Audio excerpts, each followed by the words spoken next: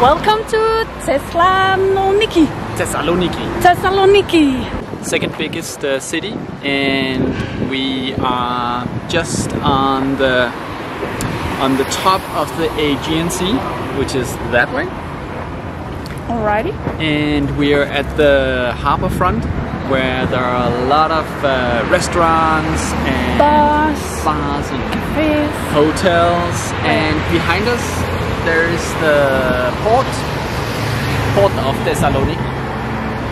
And we want to explore more of Thessaloniki. So Yeah. now we want to find some of these. On our way in yesterday, we saw um, a couple of um, places where where we could rent those um, electrical runners. So, Fast and dangerous. so let's go see if we can find some. Okay, okay. I see a QR code. Let's try that one.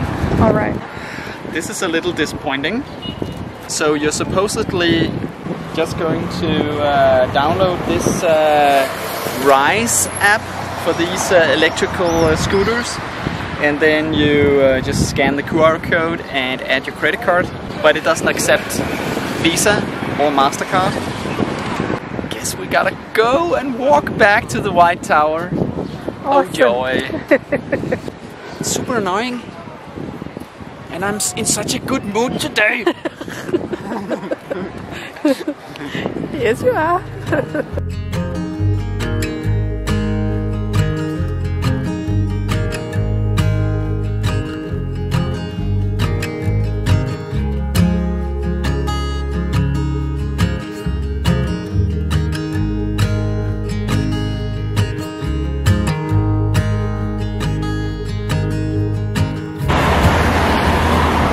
try this one more time.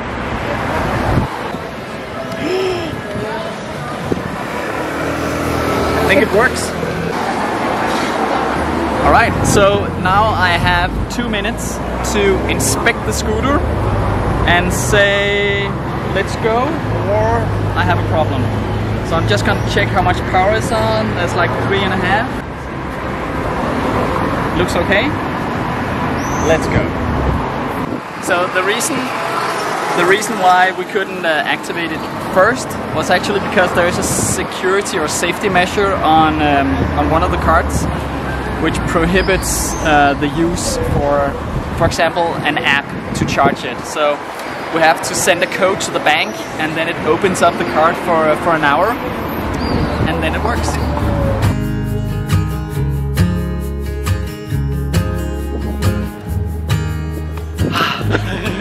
Quite fun. That is It's Alexander, Alexander. The, the Great, yeah. that's a pretty cool uh, equestrian statue. He's very important for Greece, isn't, isn't he? and Macedonia. And ac- Macedonia. Yeah, actually, it's time for a little bit of uh, history because Thessaloniki was the capital in the region that was originally known as Macedonia. The, the airport here in Thessaloniki is also called uh, Thessaloniki Macedonia Airport or something like that. down to Constantinople and Istanbul and onwards towards Asia. And of course, everyone knows Alexander the Great.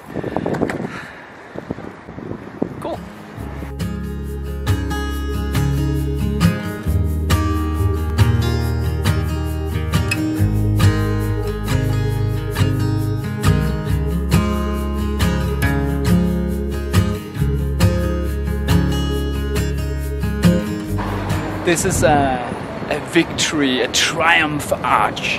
It was uh, constructed in the third century AD um, by Camara or Galerius um, over as a, as a symbol for the victory over the Persians.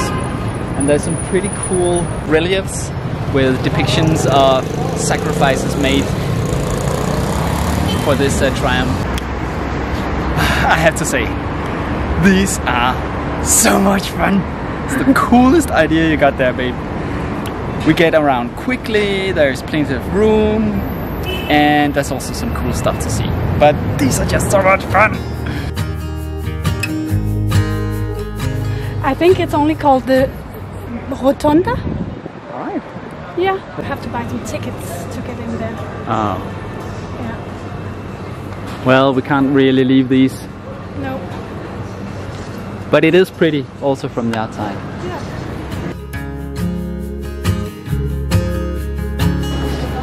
So that was the archway and the rotunda. And I think we have found a way to the um, Hagia Sophia of Thessaloniki Cathedral.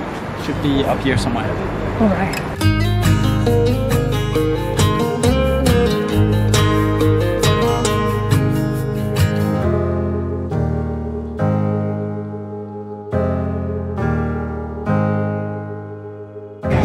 Okay, the downside of having these is that we can't really explore the sites inside, so we can't uh, we can't go inside the churches. We would have to check out, and they might be gone when we came out. Yeah. So. okay.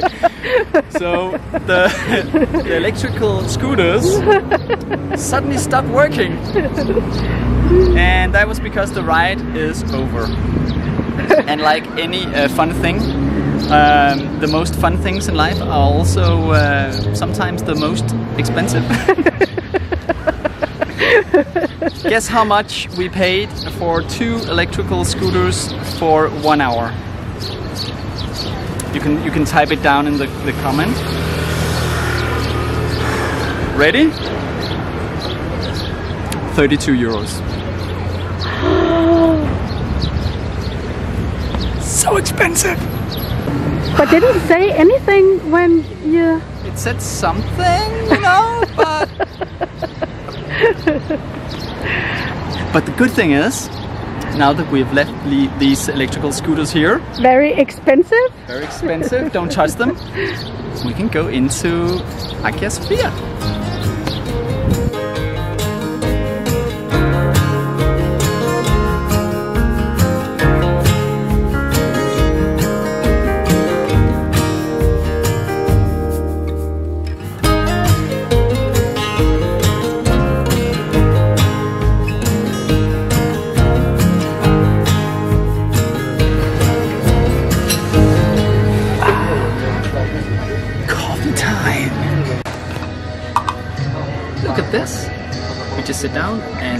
Immediately serve Ice cold. cold bottle of water.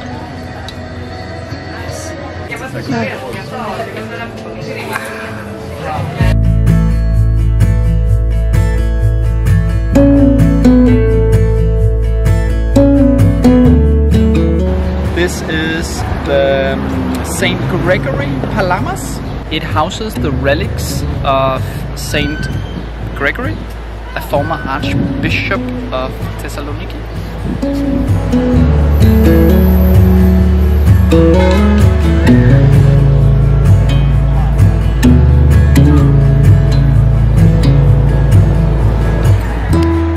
This is Aristoteles Square here in Thessaloniki, which is a big open square, lots of space and air, surrounded by cafes, there's a couple of hotels, and after um, Thessaloniki was hit by a big, big fire in uh, 1917, uh, much of the city was, um was replanned and a lot of these long lines with alleys and really big streets was uh, was planned and the square was one of them. It's a little bit windy so i hope you can hear me you can see to the ocean and you can see all the way up to the top of the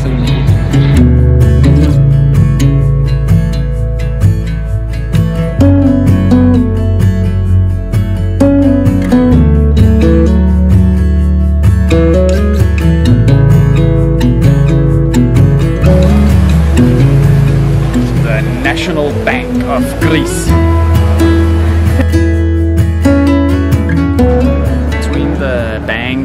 This small neighborhood. Uh, it's filled with uh, restaurants and bars and had these very nice, somewhat Parisian inspired um, facades on the houses with small balconies and nice colors and yeah.